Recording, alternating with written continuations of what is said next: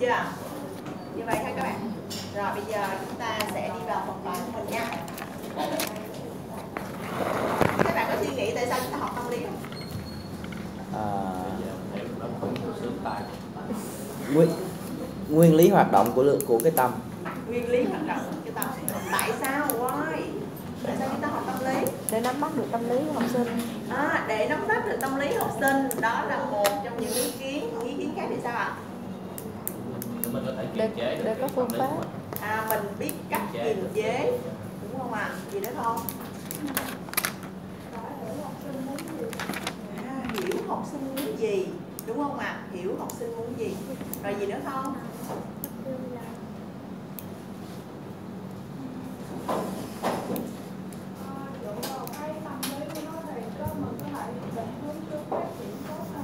À đúng rồi, định hướng cho học sinh phát triển tốt hơn. Khi chúng ta hiểu thì chúng ta định hướng cho học sinh phát triển tốt hơn à, Đó là lý do chúng ta học tâm lý học sư phạm. Thật ra có rất nhiều lý do. Ở đây thì bạn nghĩ xem là ngoài ngoài cái ngành sư phạm của chúng ta Những ngành khác có phải học tâm lý không nhỉ? có. Có, thật ra là tâm lý nó vận dụng tất cả những ngành nghề. Mọi ngành nghề đều rất cần tâm lý. Cô lấy ví dụ. Ví dụ như bạn mà phải học về tâm lý học lao động nếu như mà bạn phải làm trong ngành sản xuất để làm gì bạn học về vấn đề tổ chức nè lao động sao cho nó hợp lý xây dựng bầu không khí lao động sao cho uh, tập thể sao cho nó có thể hợp lý được và động viên khen thưởng uh, các ờ, nhân viên ở trong công ty bằng cách nào uh, như thế nào là nó phù hợp đại loại như vậy. Và chúng ta phải học được là tâm lý học lao động và tâm lý học xã hội và tâm lý học kỹ sư nó sẽ phục vụ cho cái này một cái điểm thứ hai nữa nếu bạn làm quản lý thì sao? Bạn làm quản lý thì bạn lại rất cần phải hiểu người khác đúng không ạ? À, Aristotle có một cái câu đó là hãy tự biết mình có nghĩa là hãy hiểu bản thân mình. Nhưng mà tôn tử lại có một cái câu khác nữa là biết người biết ta trăm trận trăm thắng như vậy thì bạn ngoài cái việc bạn hiểu được bản thân mình bạn còn phải hiểu được người khác như thế nào thì bạn mới có thể quản lý được họ đúng không? Như thế thì chúng ta thấy có tâm lý học quản lý. À, rồi tâm lý học tội phạm bạn học luật sư và hồi ngành luật bạn phải học tâm lý học tội phạm hoặc là bạn làm trong những cái ngành nghề liên quan đến về luật pháp thì bạn phải học cái này. Hoặc là tâm lý học du lịch bạn đi du lịch các bạn uh, dẫn chương trình uh, trong trên những cái tour đấy bạn thấy thật ra là họ đều đã được đào tạo qua cái môn tâm lý học du lịch rồi và hiểu được khách hàng muốn cái gì. Đấy. tâm lý học y tế bác sĩ có phải học không nhỉ?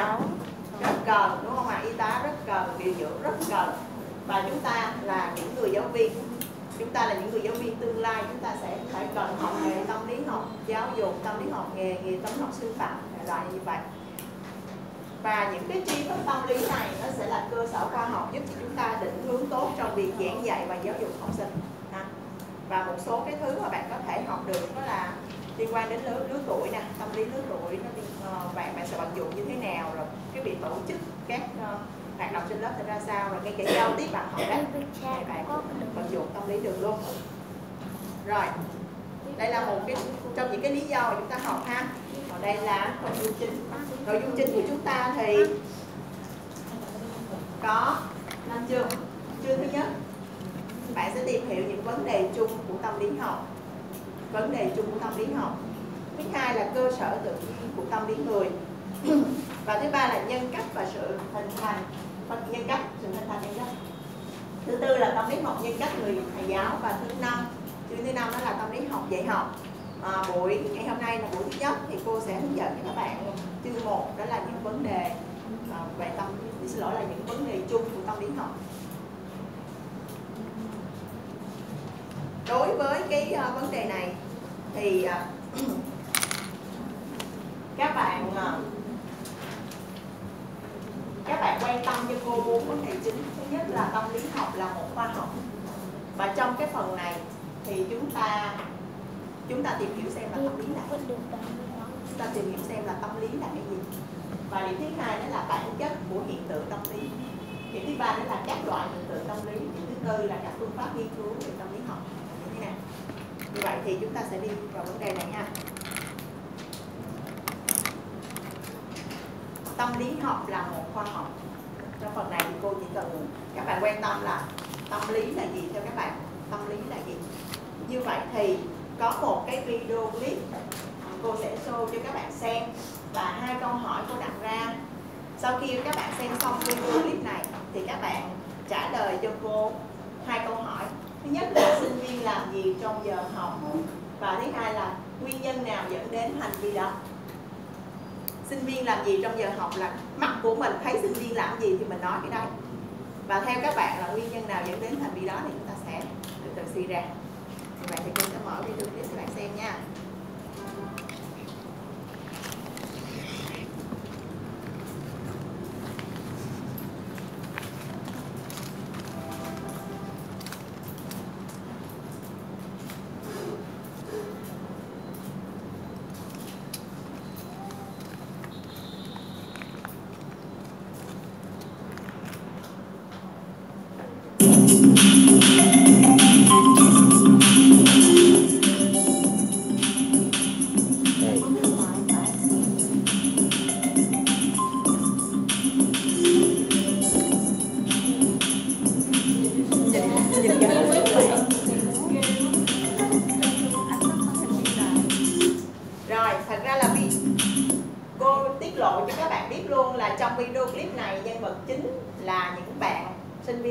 B, C và D.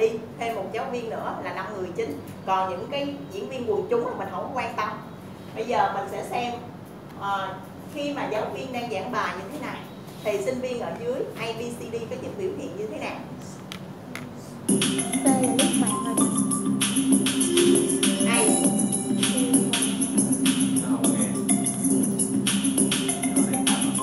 B, Dạo trai giận Có một cái bạn gái mà Giới người yêu.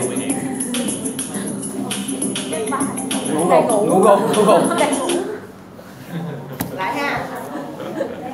Nơi đang chở bạn gái hay bạn trai vậy? coi kỹ có có phải bạn đi của cùng không nha? Thực sự là không ngủ cùng được tại vì đây là giờ dự giờ mà. Nhìn vô camera. Không ngủ cùng nha lại một lần nữa một lần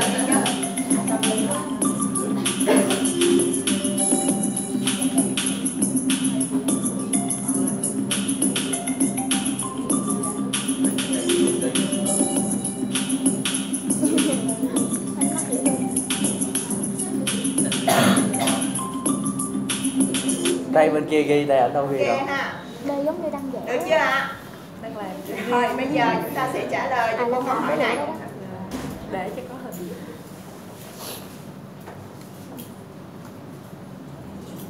đó là sinh viên làm gì trong giờ học? Sinh viên làm gì trong giờ học? Thấy gì nói đó. Và câu 2 là nguyên nhân nào dẫn đến từng hành vi đó? Trước hết chúng ta giải quyết câu thứ nhất. Bây giờ cô sẽ phải đẩy cái slide lên. Đẩy cái màn chiếu lên. Ờ, để cô lấy cái bảng cô ghi mới được nha các bạn. Là cái nào để đẩy rồi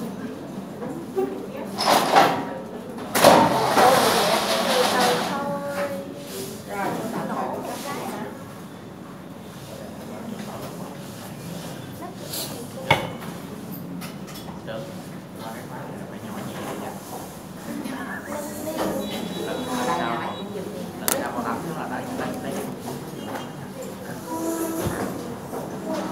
Có cần có đèn không? Mở đèn lên nha các bạn ơi Ghi vậy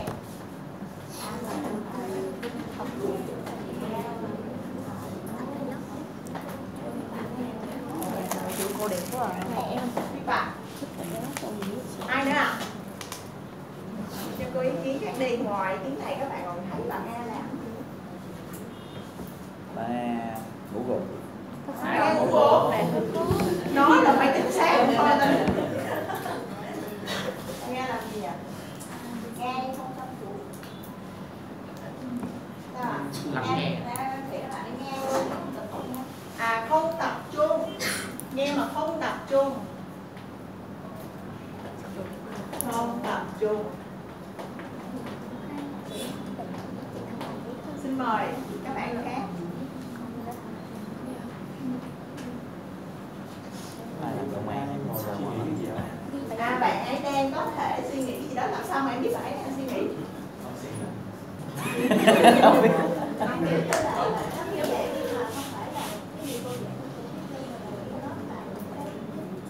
à bạn ấy ghi ý chính đúng không viết bài hoặc là có một ý kiến khác là ghi ý chính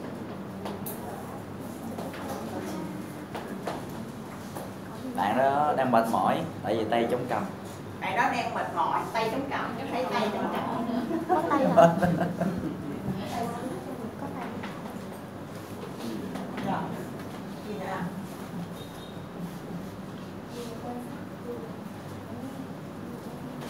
Gì nữa nào?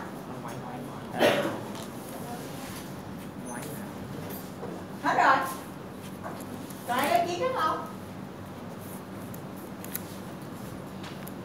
mày nghe còn làm gì nữa không xin mời ạ tức là có thể là vừa nhìn cô và vừa làm một cái công việc gì khác đó. Lúc Dạ. mình ngay lên xuống để à nhìn lên nhìn xuống thấy bạn em nhìn lên nhìn xuống chắc đó Có thể là ok à, nhìn cô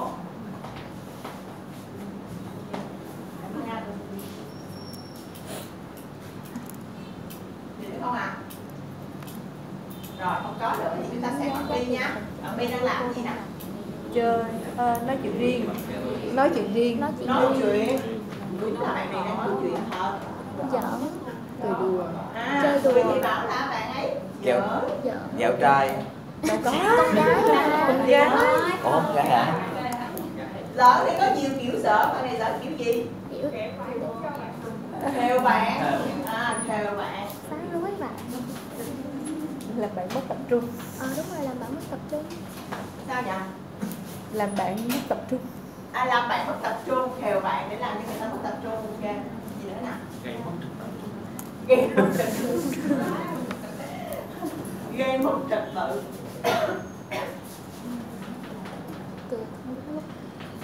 Rồi cô cảm ơn. Gì nữa không? Không có hứng thú với bài giảng. Không có hứng thú với bài giảng. Không hứng thú không thì chị không có hứng thú với bài giảng. gì nữa không ạ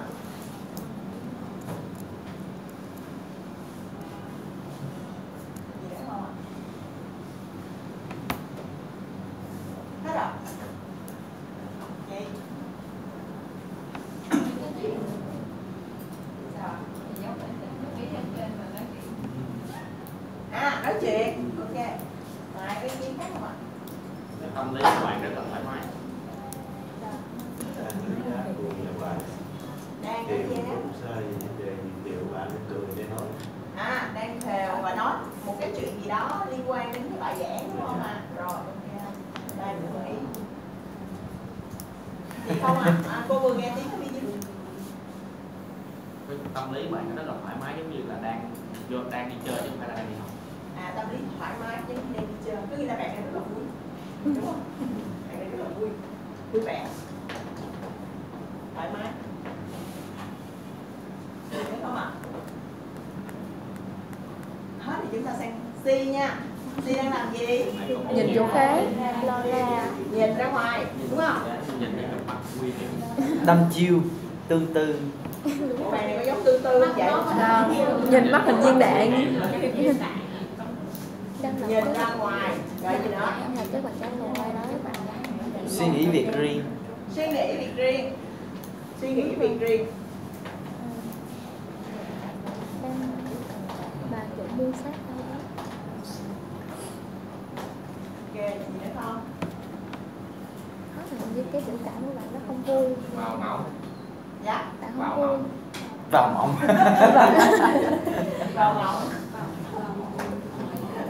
đang đi cảnh. Đi cạnh là gì anh? Cảnh trong mộng á đang nhớ nhớ nhớ. đang nằm trong mộng. Trong hồ treo ngược cành cây à. Đủ đủ việc hết. Ở đây cũng có tâm hồn treo ngược cành cây. Đang phiêu giống dơi quá vậy. Đây là một cái cụm từ chỉ cái sự gì la lon ra đúng rồi. Chỉ cái sự không tập trung đúng không ạ? Không tập trung. Không tập trung vô bài dễ thì tập trung vô việc khác. Không không không không tập trung vô bài giảng chính xác không tập trung vô bài dễ chứ. Còn đang tập trung chuyện không tập trung vào bài giảng nhưng mà tập trung vào chuyện khác. Đúng rồi đó không vui không rồi không đời bây giờ sang đi nha. Đi làm gì vậy? Này ca này khó cái tay của đi đang làm gì? Vẽ. Đang viết nhật ký. người thì bảo là vẽ. Em không nghĩ làm bài. Đánh caro. Đánh caro xong một mình chơi chơi tự ý tự kỷ kêu chính xác đánh caro một mình. Caro một mình. Như vậy thì có chính xác chưa vẽ có biết không nhỉ biết Có mấy có lắng nghe. Có lắng nghe. ai có nghe hoặc có thể ghi nốt gì đó không à, cũng được nhưng mà tay nhung mà tay lúc lúc mà Mà có tập trung. có tập trung Nói chung là đây là gom lại những cái của ABC. ừ, tập trung vào bài đúng không ạ Dạ. tập trung vào bài Còn cái này viết nhà viết. gì đó không Em là nghĩ bạn không tập trung vào bài. Em đang nghĩ bạn không tập Dạ. trung vào bài. Có thể là không tập trung vào bài. Không vui. Mà tập trung vào cái chuyện đánh caro vẽ. Tìm hình. Tìm hình. Tìm các bạn hơi xấu các bạn chịu khó giùm cô nha.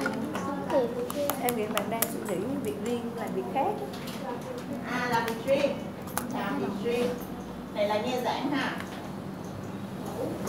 rồi làm việc riêng không ngủ hả giống như cái với bạn không thể nào ngủ được tại vì sao? Đang dự giờ. đây là tình huống ở đây là giáo viên đang dạy ở dưới là đang dự giờ. Không ngủ được ạ hai trăm ngàn làm việc riêng. Ghi chép bạn nợ giờ vậy là tiêu cô giáo rồi. Hả Thì giờ kêu đó là tiêu cô giáo. Bạn A đang nợ trăm ngàn Cái bạn đang bổ sung là bạn thi là bạn sẽ đang tập trung suy nghĩ, đang tập trung nghe nghe nghe nghe nghe, Nghe bài giảng thôi. Dạ. Đây là Bạn à bạn thì lại nói là đang tập trung đúng không người kia thì không. Đây là tập trung vào bài ok. Người thì bảo tập trung người thì bảo không tập trung. Chỉ dựa vào một cái hành vi thôi.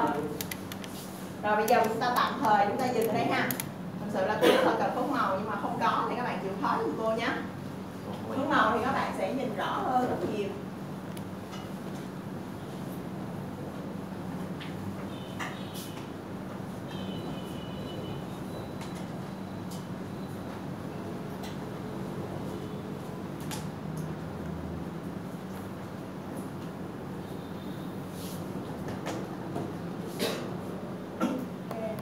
rồi bây giờ bạn nhìn tìm cô ở cột bên tay trái này bên đây cột bên tay trái tất cả những gì mà các bạn nói ở đây thật ra là thuộc về gì Hành động thành rồi viên đây là hành vi hành vi thì chúng ta có thể nhìn thấy được đúng không ạ nhìn thấy được à, còn bên đây cô muốn hỏi các bạn nè thật ra những cái mà các bạn đề xuất cho cô nãy giờ một số thứ của cô xét qua bên này đó là thuộc về cái câu số 2 là nguyên nhân nào dẫn đến hành vi đó cô lấy ví dụ như là tập trung viết bài thì phải làm. À đây nếu mà viết bài thì phải có cái sự tập trung ở đây đúng không ạ? Còn đây là không tập trung thì nó sẽ đối chiếu với cái gì? Tay chống cầm hồi nãy có một người nói như vậy đúng không ạ? Đây là thuộc về nguyên nhân chứ không phải là bây giờ hoặc là chỉ đây. À, ở đây thì không gây hứng thú không không có hứng thú với bài trẻ cho nên bạn mới nói chuyện hoặc là theo bạn bên cạnh. Đó là cái lý lẽ của bạn hoặc là vui vẻ thì là có thể là giỡn với bạn bè. Đấy đó chính là một số cái nguyên nhân. Bên đây cũng vậy nhìn ra ngoài nguyên nhân có thể là suy nghĩ về việc riêng hoặc là tâm hồn trong được cành cây hoặc là có thể là bạn cũng tập trung vào bài đó bạn cũng suy nghĩ mà tập trung vào bài. Rồi bên kia là làm việc riêng thì bên này là không tập trung còn bên đây là à, nghe giảng thì có thể là tập trung vào bài. Nên nó thuộc về nguyên nhân thế thì bây giờ bạn suy nghĩ xem ngoài những nguyên nhân này chúng ta còn có những nguyên nhân nào khác nữa không? À. dẫn là giáo ví dụ như viên người A không hay người như thế này. Bạn cần phải bổ sung chữ tập trung không? Dạ có. À chúng ta cần một bổ sung chữ tập trung nữa đúng không? Cho cái trường hợp là bạn viết bài đúng không ạ? Tập trung vào bài. Nguyên nhân có thể là do nguyên nhân là bạn tập trung cho nên bạn mới viết bài. Còn gì nữa không bài giảng hay? À bài giảng hay. Bài giảng hay cho nên bạn tập trung. Bài giảng hay. Lỗi bài giảng hay cho nên bạn ờ, mới nghe giảng và ghi chép ha. Gì nữa ạ? Cô giáo đẹp cô giáo đẹp cô giáo đẹp là bị mất tập trung à không mới nhìn cô nhìn cô là có thể mất tập trung cái rồi tạm thời như vậy xem đi đi ạ. Cô giáo đẹp sao? Các anh kia nhìn ra ngoài. Đang nói người đẹp hơn kia là thích cái ngoài hơn cô sao ạ không thích học. Không thích học đúng không? Hoặc là không có nhu cầu học đúng không? Không có nhu cầu học.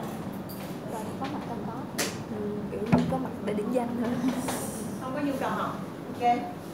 Còn gì nữa không giọng cô giáo buồn ngủ giọng cô giáo buồn ngủ rồi à, cho nên nó tìm cách tìm cách để cho nó khỏi buồn ngủ à. Nó nói chuyện để khỏi buồn ngủ à giọng cô giáo buồn ngủ hả? Có có thể thôi mà có thể rồi ok. chào chắc đang trò chuyện không qua việc hôm đó qua cấp gì đó. Buồn ngủ rồi tạm thời như vậy. Bây giờ xem thi. Thì cô cũng hết chỗ thi rồi giờ bạn còn ý tưởng nào khác ngoài cái nguyên nhân này nữa không? Vô quay camera cũng nhìn nó đi. tập trung vào camera. Dạ tập trung vào nè tập trung vào camera có nghĩa là không tập trung vào bài đúng không ạ? Nó tương ứng ý này. Dạ. Rồi chuyển sang đi đi ạ. Chuyển sang đi. Ngoài cái việc tập trung vào bài không tập trung vào bài còn gì nữa không chắc tại tiếng có tiếng dự giờ cho nên cố gắng để giờ kiểu vậy. Lắng nghe. Kiểu vậy. Có nghĩa là tập trung đúng không ạ?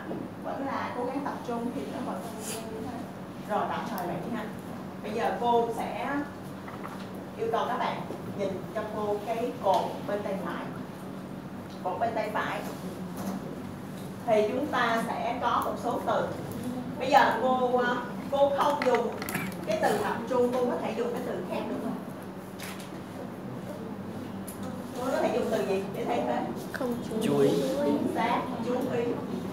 Tại nhiều khó bạn nhìn nhìn cô ha tại vì không có phấn màu. Hơi hơi hơi khó chỗ này. Chú ý ha. Rồi ở đây cũng vậy. Cũng có thể thay bằng từ chú ý. Bài giảng hay. Bài giảng hay có phải là kỹ năng sư phạm của giáo viên không? Hoặc là năng lực sư phạm không đúng không? Đúng không? Bởi vì năng lực sư phạm tốt cho nên chúng ta có thể thiết kế được một bài giảng hay có lý không? Rồi nhu cầu. Đây là một thuật ngữ thuộc về tâm lý học. Hứng thú cũng là một thuật ngữ thuộc về tâm lý học. Giọng cô giáo buồn ngủ có phải thuộc về kỹ năng không nhỉ không có kỹ năng. Đấy, chính là kỹ năng đó các bạn. Chính là kỹ năng. Bạn ờ, lên xuống giọng cái tông như thế nào Ờ, bạn âm lượng bạn phát ra như thế này. Nó để là kỹ năng hết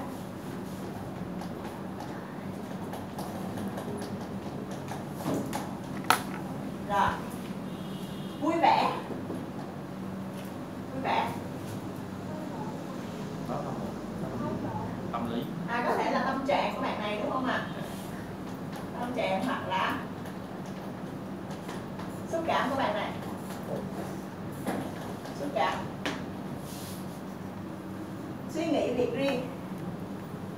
Suy nghĩ việc riêng có nghĩa là không tập trung. Suy nghĩ chúng ta có thể thay bằng cái từ gì? Từ này bạn nghe chưa? Tư duy. Đúng rồi tư duy cô nghĩ là bạn nghe rồi. Bạn học tới cái môn thứ thứ bảy thì các bạn có từ rồi. Tư duy thay vì mình nói là suy nghĩ nó sẽ nói một cách à, tâm lý học hơn đó là tư duy. Tập trung. Chú ý. Chú ý không tập trung là không chú ý, đúng rồi. Tập trung ở đây cũng vậy, tương tự ha, không chú ý và chú ý. Như vậy tất cả những gì mà nãy giờ bạn nói và những ngôn ngữ của đời thường nhưng bây giờ chúng ta muốn tâm lý học hóa nó thì chúng ta sẽ thay bằng những một thuật ngữ tương đương của tâm lý học. Vậy là tâm lý học. Nó rất là gần gũi với chúng ta, xung quanh chúng ta, và chúng ta có thể nhìn thấy mọi giây phút. Nên tâm lý học không có gì xa vời cả. Như vậy thì chỗ này cô sẽ nguyên cái cụm đây nha các bạn nhé. Nguyên cái cụm bên đây. Cô gọi nó chính là hiện tượng tinh thần. Đây chính là những hiện tượng tinh thần.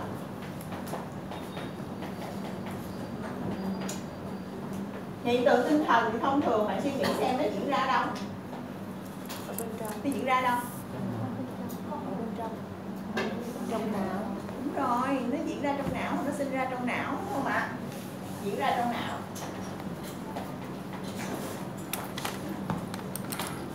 Vậy thì cô hỏi bạn nè trong cái trường hợp mà giáo viên không tổ chức lớp học như vậy thế thì hành vi của sinh viên có xuất hiện không? Hành vi này có xuất hiện không. Không có được. Không cái lớp học vậy sao xuất hiện hành vi này được? Không thể có đúng không ạ? Và hiện tượng tinh thần này cũng không thể diễn ra, đúng không? Như vậy nó đòi hỏi một yếu tố nữa chính là hiện thực khách quan tác động vào. Thì hình ảnh giáo viên hoặc là tình huống mà giáo viên đang đứng giảng bài đó chính là hiện thực khách quan. Hiện thực khách quan bạn hiểu được cái là nó ngoài chúng ta, thì gọi là hiện thực khách quan. Nhé và những cái này các bạn có thể nhìn thấy không nhỉ? Hiện tượng tinh thần diễn ra trong não các bạn có thể nhìn thấy không? Không. Bạn sẽ phải thông qua cái gì để đánh giá? Hành hành vi vi rồi bạn thông qua hành vi là bộc lộ ra bên ngoài đúng không ạ? Cho nên chúng ta sẽ có một cái định nghĩa như thế này nha các bạn. Bạn có thể ờ, bạn bạn muốn viết vào thì bạn cứ viết ha. Bạn viết vào đi mà bạn chụp hình lại cái này cũng được cho bạn dễ với bạn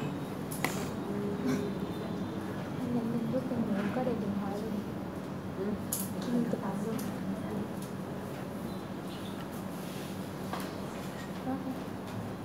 Đó tâm lý là các hiện tượng tinh thần diễn ra trong não.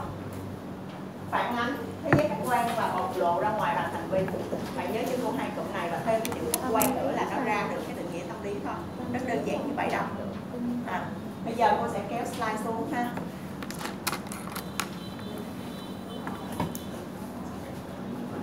Cô Tâm lý là cô không phải được tác động Thực ra tác qua Đấy, cô sẽ mở lên cho bạn xem bạn lấy cái cụm từ cô kết luận ở dưới đây ha bạn đưa vào à, tâm lý là các hiện tượng tinh thần. Hiện tượng tinh thần diễn ra trong não ví dụ là gì? Tập trung chú ý nè. Gì nữa? Suy nghĩ tư duy nè. Và những cái bạn nói nè cảm xúc vui vẻ đại loại như vậy. Những hiện tượng tinh thần diễn ra trong não phản ánh thế giới khách quan. Thế giới khách quan ở đây chính là giáo viên đang giảng bài đúng không ạ? Là ngoài chúng ta. Và được biểu hiện thông qua hành vi của con người. Hành vi là những cái mà chúng ta nói, hồi nãy là mình mình thấy học sinh viên đang làm cái gì đó đó là hành vi. Ba cụm từ đó thôi, bạn ghép lại thì nó sẽ ra cái định nghĩa tâm lý, đơn giản như vậy đó. Tâm lý là các hiện tượng tinh thần diễn ra trong não, phản ánh thế giới khách quan và được biểu hiện thông qua hành vi của con người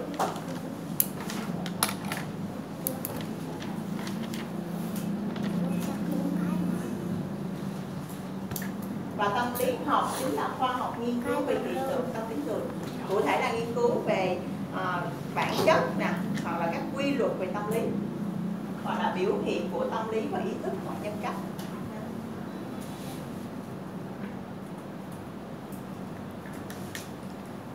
Cái cụm trên là quan trọng nhất. Ở dưới thì ờ, bạn suy ra vẫn được như thường ở trên mới là quan trọng nhất bạn hiểu tâm lý này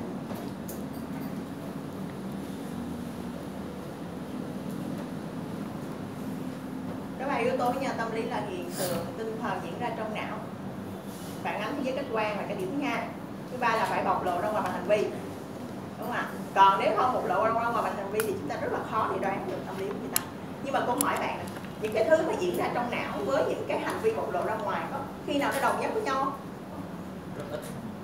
đó à nhưng không phải lúc nào cũng đồng nhất. Như vậy thì khi chúng ta đánh giá bất kỳ ai đánh giá bất kỳ một sự việc nào. Chúng ta cố gắng chúng ta hãy dừng lại một nhịp để chúng ta nhìn sâu vào bản chất bên trong. Nó không dễ một chút nào đâu thật ra con người có một cái rất là thói, thói quen đó là mình thấy là hơi hơi bị uh, vội vàng à. có nghĩa là mình nhìn hành vi cái là mình đánh giá liền chứ mình không có nhìn được sâu xa cái bản chất của nó. Còn lại mình nhìn hiện tượng cái mình đánh giá bản chất là nó cũng không đúng đó, nhiều hiện tượng có thể liên kết lại thì suy ra được bản chất nhưng mà một hai hiện tượng thì chưa thành bản chất được. Cho nên khi mà chúng ta đánh giá chúng ta phải cố gắng dừng lại một nhịp để hiểu được cái bản chất thực sự của nó là cái gì. Tại vì đôi khi là cái bên trong với cái bên ngoài nó không có đồng nhất với nhau. Có những người ví dụ như bạn thấy họ cực kỳ là buồn họ cực kỳ đau khổ nhưng mà bây giờ họ lại bước chân vào cơ quan họ lại nhìn đồng nghiệp xong họ rơi nước mắt hoặc là họ ôm chồng để đồng nghiệp họ khóc không được như vậy, bạn gặp khách hàng cũng không thể làm như thế đúng không ạ? Bạn sẽ phải cư xử đúng mực với người ta và bạn cũng phải vui vẻ và thể hiện ra là người rất lạc quan. Đôi khi cái người mà họ không đủ sâu sắc thì họ thấy cái người này à rất là lạc quan, không có một cái vấn đề vướng bận gì đâu trong tâm lý cả. Nhưng mà những người sâu sắc thì họ có thể nhìn thấy trong cái hành vi đó sẽ có những cái khúc mắc ở trong đấy. Cho nên chúng ta phải dừng lại một nhịp và chúng ta phải tìm hiểu sâu hơn vấn đề. Ok à, như vậy thì chúng ta còn có một câu hỏi để đặt ra. Nếu như bạn à, có một cái tình cảm rất là tích cực với một người nào đó mà bạn không bộc lộ ra thì liệu người ta có biết không? Hơi xui. Biết đâu em vô tình. Biết đây vô tình. Ai cũng biết một cái một người không biết. Có kinh nghiệm gì bạn người biết chỉ một người không biết. Ai cũng hiểu chỉ một người không hiểu đúng không ạ lên đây nè em bên đây còn ghế. Nhiều khi người ta hiểu nó không chịu hiểu á. Không chịu hiểu. Không hiểu. Hiểu nhưng không chịu hiểu luôn. Cô nghĩ là cái thế hệ của chúng ta là 8x 9x à, trở lên. Thì à, không phải rơi vào cái tình cảnh đó là à, chúng ta yêu thương mà chúng ta không bộc lộ ra. Nhưng mà cái thế hệ trước chúng ta 7x trở xuống thì cô thấy 7x thì có những cái người cũng rất là cởi mở và có những người cũng rất là kín đáo. Ví dụ như nhất là những người đàn ông. À, như ba cô là ba cô là 5x rồi. Nhưng ba cô cô thấy là mặc dầu thương mặc dầu yêu rất là nhiều người thân của mình nhưng mà hầu như là bộc lộ ra ngoài làm hành vi thì hầu như là không. Ờ, à, giấu ở trong lòng cho nên đôi khi mình lại hiểu lầm. Thế thì ở đây chúng ta còn rút ra thêm một cái kinh nghiệm nữa một cái kết luận nữa đó là khi mà chúng ta có những cảm xúc tích cực với ai chúng ta cũng nên bộc lộ cho họ thấy rằng là chúng ta đang có cảm xúc tích cực về điều đó và khuyến khích họ uh, thể hiện cái sự yêu thương của mình đối với họ thì họ mới hiểu được đôi khi chúng ta giấu cái điều đó thì thực sự là không nên đúng không ạ? Những cảm xúc tiêu cực thì à, mình cũng phải kìm kìm nén lại chúng ta không bộc lộ ra hết được. Nhưng mà riêng cảm xúc tích cực thì cô nghĩ là nên để cho họ biết được rằng mình rất là yêu thương họ. Thì điều đó nó sẽ làm cho mối quan hệ của chúng ta giao tiếp của chúng ta cái mối quan hệ gắn kết sẽ tốt đẹp hơn. Với bất kỳ ai chứ không phải chỉ riêng gia đình à với bất kỳ ai. Rồi ở đây chúng ta có một số đặc điểm ờ, của hiện tượng tâm lý người. Cái này thì không có trong giáo trình của bạn nhưng mà cô thêm vô. Bạn nghĩ xem là đặc điểm trước hết là đó là chính là hiện tượng tinh thần đúng không ạ? Đơn giản thôi bạn từ cái định nghĩa bạn suy ra đó đó là hiện tượng tinh thần thì đặc điểm đó là chính là hiện tượng tinh thần. À, ở đây có một số chia sẻ thêm với bạn ha đó là cái vấn đề về thông minh